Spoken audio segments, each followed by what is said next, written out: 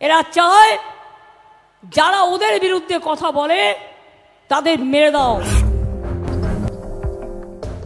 বাইশে এপ্রিল সোমবার দু হাজার ষোলোর এসএসসি প্যানেল বাতিল করেছে কলকাতা হাইকোর্ট। এই নিয়েই ফের একবার গর্জে উঠলেন মমতা বন্দ্যোপাধ্যায়। টেনে আনলেন অভিষেক বন্দ্যোপাধ্যায়ের বাড়ির এইকির প্রসঙ্গ। কি বললেন তিনি? শুনে নেব। কিন্তু বলুন তো মা ভাই বোনেরা আমার বিজেপির একটা কথায় ছাব্বিশ হাজার শিক্ষক, শিক্ষিকা কাজ করছে। তাদের বলছে কিনা, আট বছরের বেতন সহ চার সপ্তাহের মধ্যে ফেরত দাও, সুদ সহ। পারে তারা দিতে? তাদের অপরাধ কি তারা জানলো না?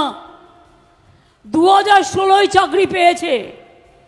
নির্বাচন চলাকালীন নির্বাচন চলাকালীন বিজেপির এক গদ্দার বললেন, বোমা ফাটাবো।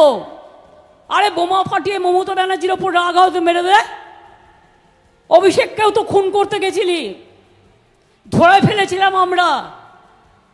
কীভাবে করেছিলি? তার বাড়ি পর্যন্ত রেখে করেছে। ফেস টাইমে ফোন করেছে। আপকা সাথ বাত করনে চাতি হু। বলে সময় দিলেই গুলি করে দিয়ে পালিয়ে যেত।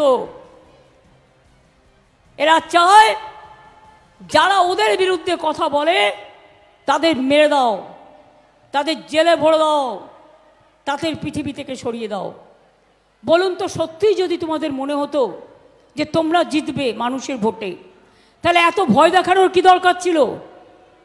ভোটের দিন লক্ষ্য রাখবেন, প্রতিবার কেষ্টকে ঘরবন্দি করত, তাতে ভোট আটকাতো, বীরভূমের মানুষ ভোট দিতেন। এবারে উদয়ন গুহকে বলেছিল, অঞ্চলের বাইরে বেরোতে দেবো না, তাতেও দেখবেন কি হবে?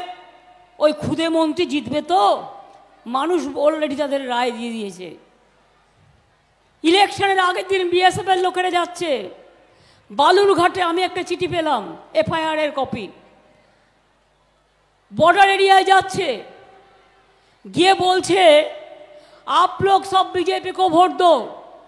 तो तारा बोले क्यों हम लोग बीजेपी के वोट देंगे हम ठीक करेंगे किसको वोट देंगे বলে দেখেগা আমারা পাওয়ার দেখাতে গেছে গিয়ে গুলি চালিয়ে দিয়েছে আর একজন হসপিটালে আমরা কেস করেছি আমরা ছেড়ে কথা বলার লোক নই শীতলকুচির ঘটনা মনে আছে চারজনকে গুলি করে মেরেছিল পাঁচজনকে চারজন সংখ্যালঘু আর একজন রাজবংশী ভাই আমি ছুটে গিয়েছিলাম তিনি আজকে আপনাদের এখানে প্রার্থী হয়েছেন।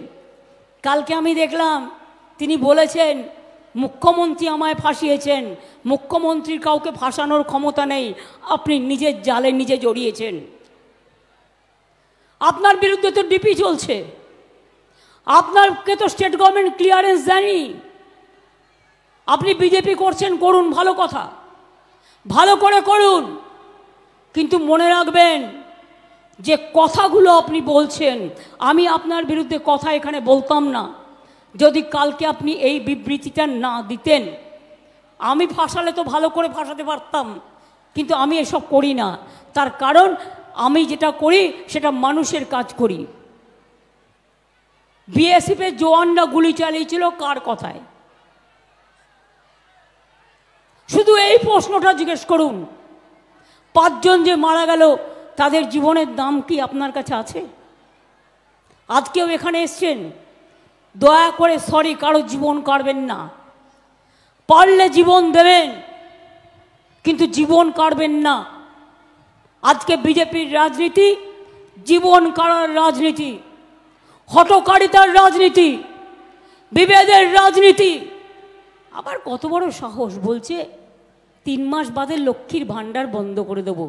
এত বড় সাহস! বলে তৃণমূল কংগ্রেস তো নিজের সরকার নিজে ফেলবে। অত সস্তা নয়! তৃণমূল এখন রইল, সারা দেশও চালাবে, আর তোমাদের কাছ থেকে বুঝে নেবে